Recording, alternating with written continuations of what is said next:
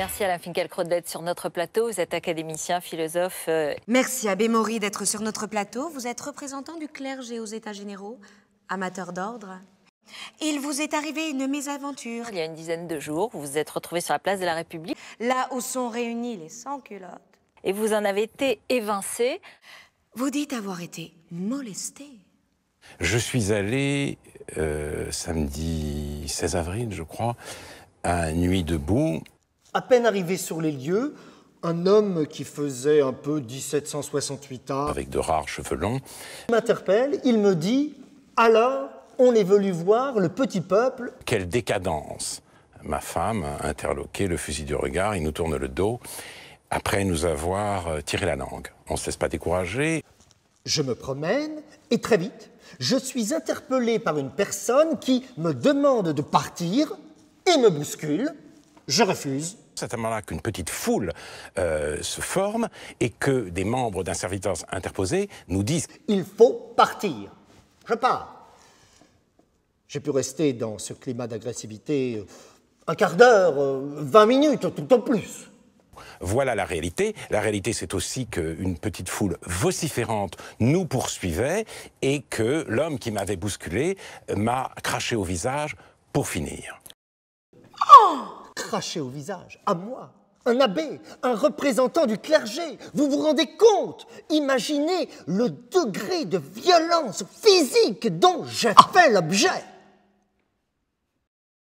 La violence euh, physique dont nous avons été l'objet, vocifération, insultes et crachats, a été hélas relayée par l'horreur morale de la manipulation et du mensonge. Et c'est malgré tout révélateur du mouvement. Tous, tous les sans-culottes sont derrière les agresseurs, derrière les insulteurs. Qu'est-ce que cela veut dire? Oui, mais euh, Parce Mais- que dans mais- les médias, dont BFM, mais pas particulièrement BFM, on nous euh, répète qu'il s'agit d'une agora, D'une alternative rafraîchissante à une société politique compassée. En guise de débat, qu'est-ce qu'on voit? Eh bien, euh, euh, je- je- toute opposition, toute, contradic- toute contradiction est proscrite. On nous parle de refaire le monde à neuf, d'en finir avec l'inhumanité du vieux monde.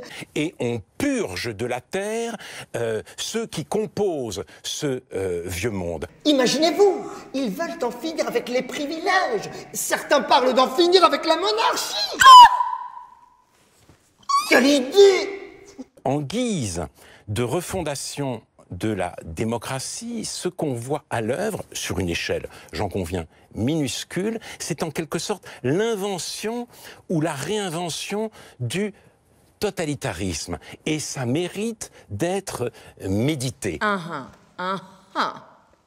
On voit la connexion de l'utopie et de la terreur. Ce sont des idéologues, ce sont des doctrinaires.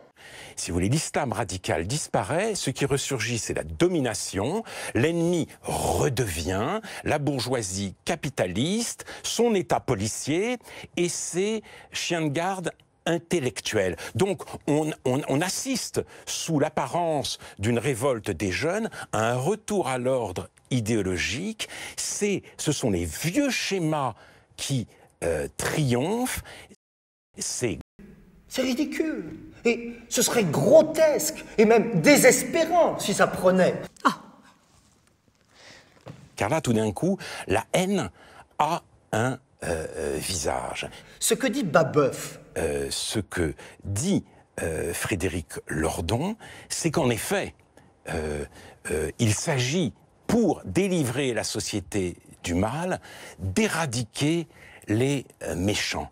Il le dit avec une violence inouïe, et à ce moment-là, on ne s'étonne plus que euh, Pol Pot ait fait ses classes dans l'université française.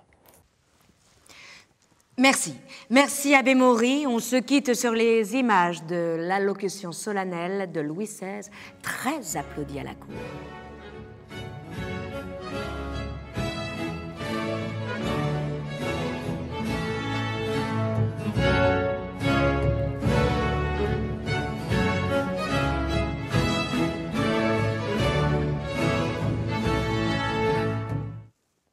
Gna gna gna. Gna gna gna.